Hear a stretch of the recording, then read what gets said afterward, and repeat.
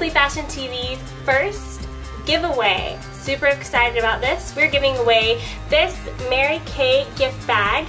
It comes with a frosted vanilla scent in a body wash, a body butter, and a body mist.